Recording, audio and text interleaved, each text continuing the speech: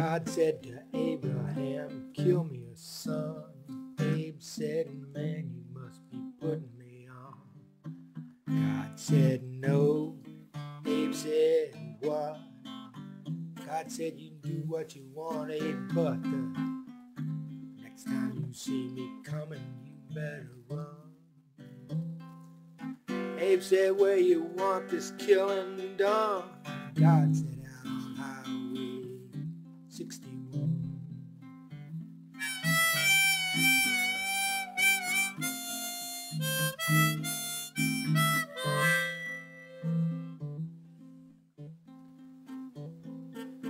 Mac the Finger said to Louis the King, I've got 40 red, white, and blue shoestrings and a thousand telephones that don't ring.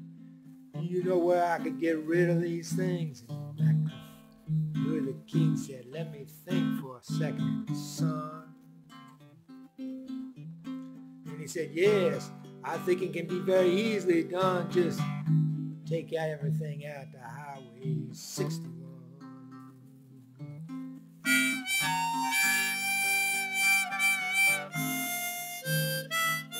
Now